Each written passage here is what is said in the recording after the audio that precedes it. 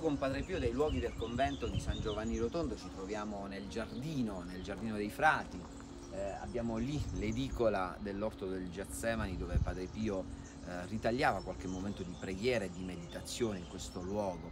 ehm, dove poteva raccogliersi. Eh, oggi qui per raccontarvi eh, di un dono, di un dono particolare che Padre Pio aveva, che hanno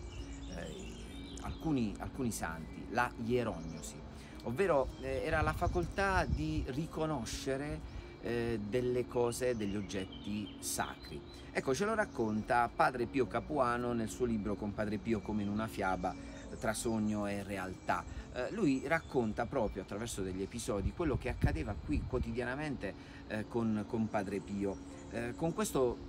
carisma, ecco, Padre Pio aveva anche la facoltà di riconoscere ad esempio anche un sacerdote quando eh, veniva qui perché non voleva farsi notare oppure perché non poteva venire, perché appunto mh, ricordiamo che c'era da parte della, della Chiesa, del Sant'Ufficio, eh, anche una certa, eh, una certa attenzione nei confronti di Padre Pio, quindi anche coloro sacerdoti, eh, anche vescovi che volevano essere qui, a volte eh, si eh, diciamo, camuffavano. Ecco ehm, riconoscere un sacerdote anche se questi non aveva alcun distintivo, scrive padre Pio Capuano, e, e, di sapere ad esempio anche se determinati oggetti erano già stati benedetti, ehm, di riconoscere le cose consacrate come le ostie, le immagini, eh, le reliquie dei santi, senza neppure vederle e distinguerle da altri oggetti profani. Ecco, era un vero e proprio dono, la ierognosi. Uh, un giorno, ad esempio, nella sala San Francesco che più volte abbiamo uh, visitato, uh, tra la gente che attendeva il suo arrivo, proprio in prima fila vi era un signore vestito in modo molto elegante, raccontano i suoi confratelli. Padre Pio non appena lo vide, lui era vestito con un abito,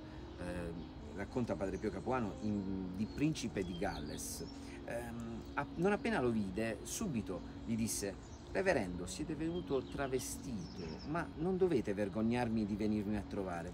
La prossima volta tornate vestito da prete. E poi ancora, un'altra volta, in una situazione simile, eh, si avvicinò un giovane in pantaloni e maglietta e subito Padre Pio lo chiamò, si avvicinò e disse va e ritorna in convento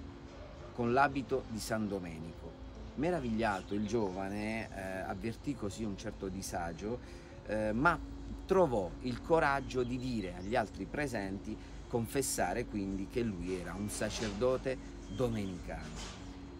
Molti avevano anche questa convinzione, racconta, racconta Padre Pio Capuano, una convinzione che eh, la benedizione di Padre Pio eh, ecco,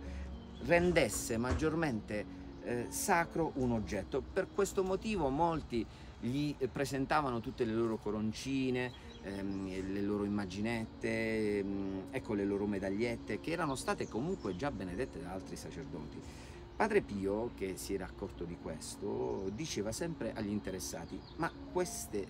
questi oggetti hanno già avuto la loro benedizione, quindi li restituiva senza benedirli. Eh, ad esempio una signora, una signora che insisteva perché nonostante eh, che una corona fosse già stata benedetta, voleva la benedizione di Padre Pio in modo insistente. Allora Padre Pio, con tono serio e di rimprovero, le gridò, la mia non è una benedizione magica,